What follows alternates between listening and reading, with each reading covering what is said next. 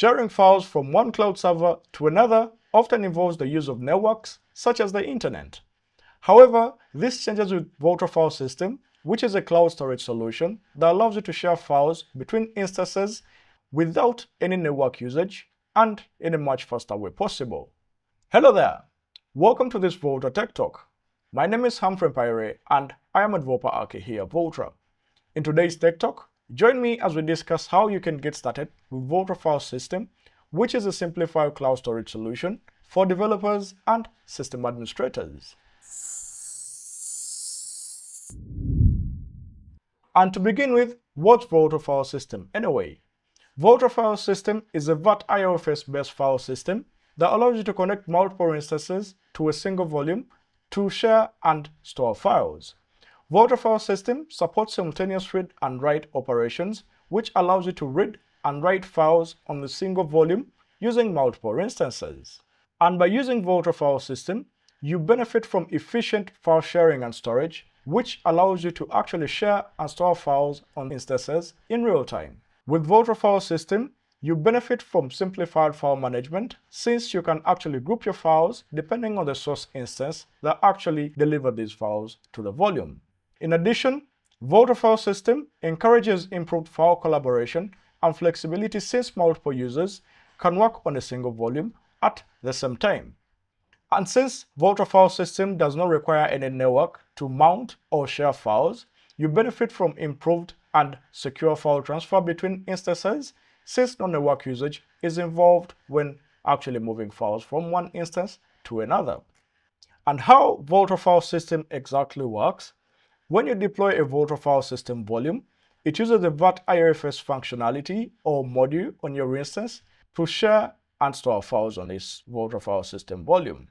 If you have multiple instances connected to the volume, they all use the virtiofs functionality to mount this volume and enable read-write operations with other instances that are interconnected to the same volume. And so, based on this background, let me take you right into a demo where we shall actually see Vultr File System in action.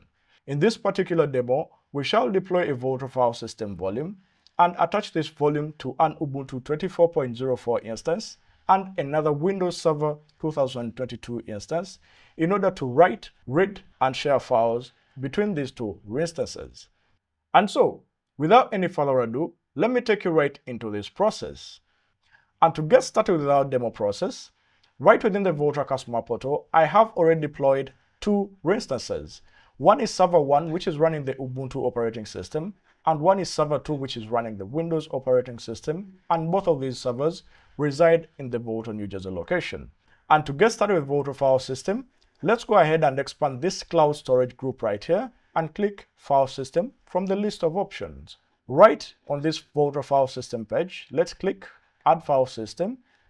Now let's select a storage location in which my target instances are actually located. Vultr File System only works with instances in that particular location. So for my case, I have my two instances in the Vultr New Jersey location, which is New York. So I'll keep the 10 GB storage volume selected and let's give it a label such as VFS and click add file system.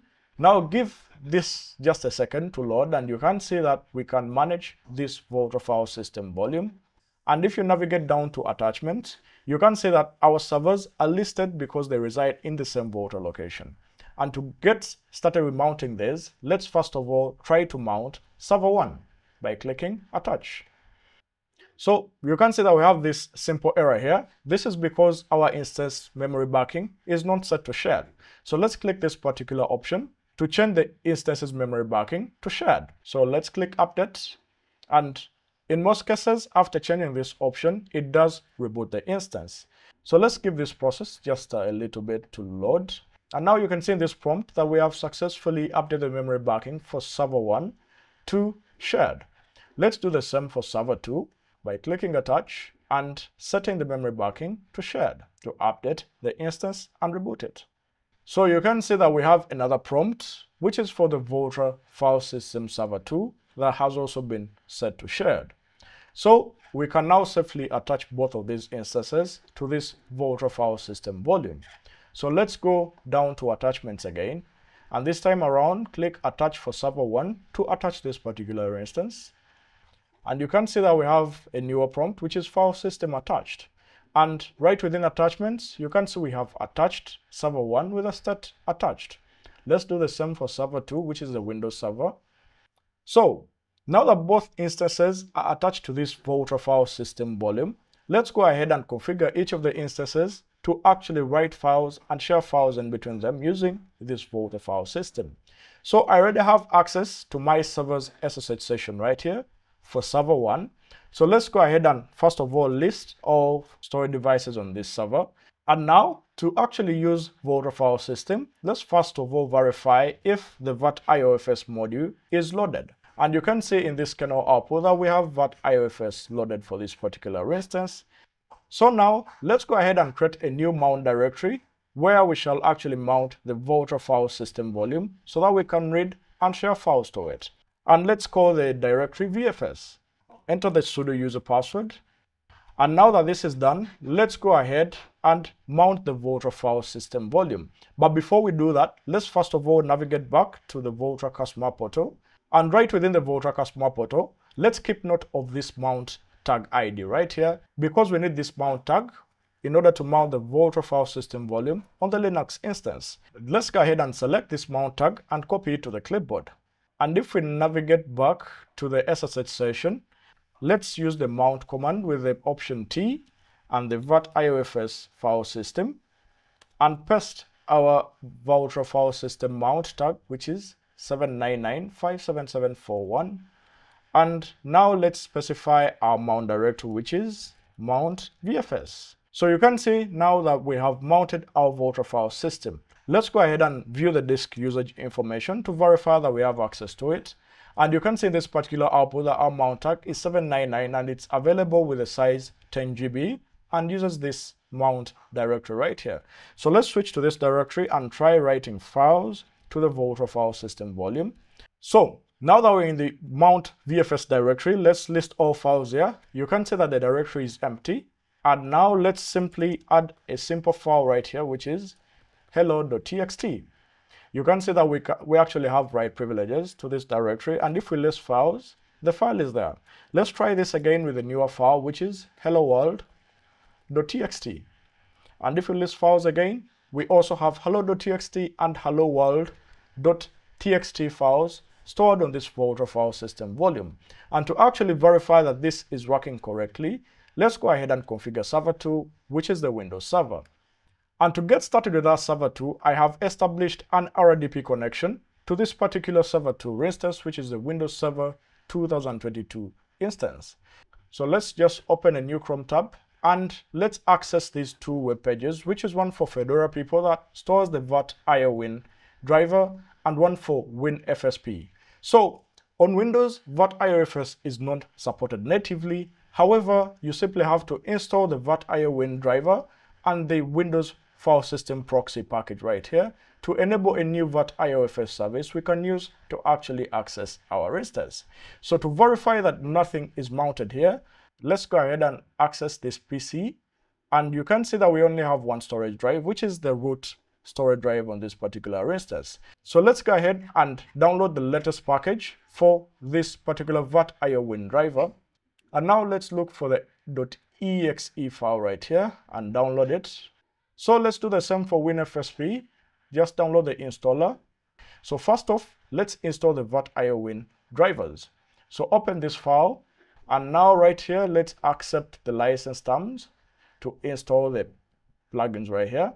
Let's click next, agree to the terms in the license agreement, and let's keep these default options enabled. Let's click next, and now let's install the VAT IOWin drivers. So now that the virtio-win installation is complete, let's just click finish to actually close this dialog and install any additional packages right here. So now the installation is successful. Let's just close this window and let's open the WinFSP package and click next. Uh, keep the defaults selected and let's click next again and install WinFSP on this particular server.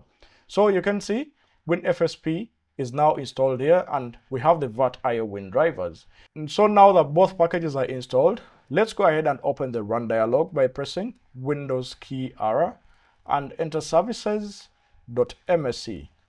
And now that we have access to the system services, let's look for the VAT IOWIN service.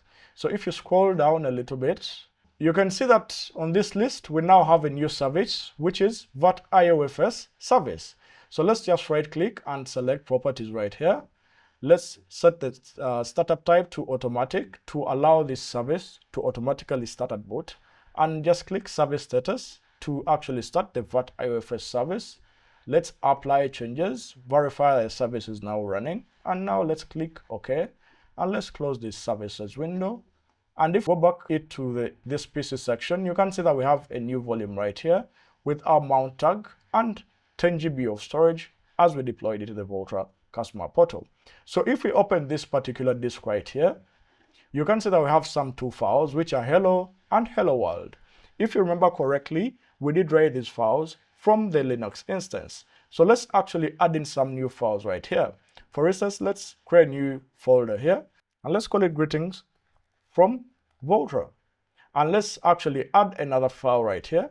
And let's give it a name, something like, hello, this is the Windows Server. And if we now see in this particular disk right here, we have two files, greetings from greetings from Vultr and hello, this is the Windows Server. Hello, this is the Windows Server is a .txt file while greetings from Vultr is a directory or a folder.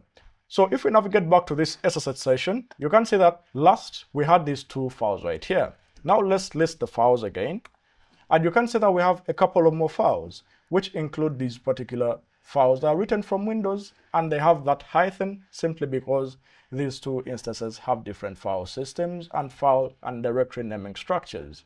So just like that, we have used the Vultr file system to actually mount a volume to the Linux instance and to the Windows Server instance for the purpose of sharing files with simultaneous read and write operations at the same time. All in all, in our demo process, we have actually created a Vultr file system volume and mounted it on a Vultr Linux instance and a Vultr Windows instance. To verify that we can indeed share files, we did create sample files on the Linux instance and the Windows instance. And just like this, Vultr file system enabled file sharing between the instances, with both instances able to read and write files to this particular volume. And so, just like that, you can use the Vultr file system on multiple instances to not only share files, but also improve collaboration if multiple users are writing to the same volume at the same time. And so, I hope you did find this Vultr Tech Talk useful.